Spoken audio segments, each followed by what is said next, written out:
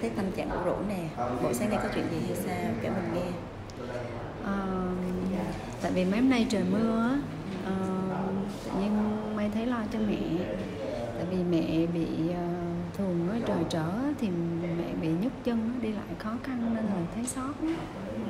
Nhưng mà bác bị đau sao? Ờ, tại mẹ may thì bị giãn tính mạch. Ừ, suy giãn tính mạch từ mấy năm nay rồi. May đã có dẫn mẹ đi khám đâu chưa? Ừ, may cũng đang định dẫn mẹ đi khám á, nhưng mà chưa biết đi khám ở đâu hết. À mình có một cô bạn cũng bị suy giãn tĩnh mạch đó. Ừ. Cô ấy có đến bệnh viện quốc tế CT Cảm ơn em à, Cô ấy có đến bệnh viện quốc tế CT à, Ở đó bác sĩ khám tốt và tư vấn kỹ lắm Nghe đâu là đang có ưu đãi Miễn phí khám lần đầu Bạn mình uống thuốc một tuần nay thì thấy cũng có giảm Và lại cũng đều với giãn tĩnh mạch đi đó Hay là cuối tuần này May dẫn mẹ lên khám đi Ờ vậy hả? Ồ vậy thì cũng tốt quá ha. Ờ. Tại vì mình sẽ cố gắng sắp xếp công việc để ờ, cuối tuần á, về quê dẫn mẹ lên khám chỗ này thử sao. Ồ đúng rồi mà, mà nè về quê nhớ mang quà lên cho mình nha Mình thích cái món nem chả bò lắm đó Nhỏ này đúng là tâm hồn ăn uống. giống bạn thôi thôi uống nước đi Ừ. ừ. cũng sắp tới giờ rồi đó thôi mình đi làm đi đây Ừ, ok. đi đi. Kính chào quý vị khán giả.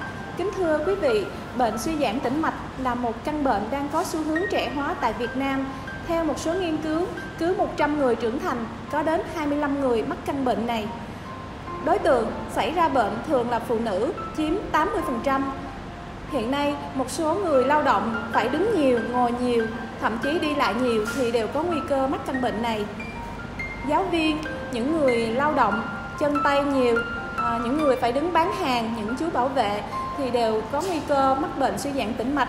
Vì vậy mà à, để hưởng ứng chương trình tầm soát bệnh lý mạch máu bệnh viện quốc tế City đã tổ chức triển khai khám và tầm soát căn bệnh này à, miễn phí cho tất cả các à, công dân Việt Nam.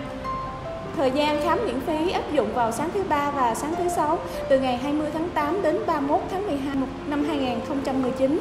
Nếu quý vị có nhu cầu xin vui lòng đặt hẹn tại số điện thoại 0987 853 793 để được hỗ trợ.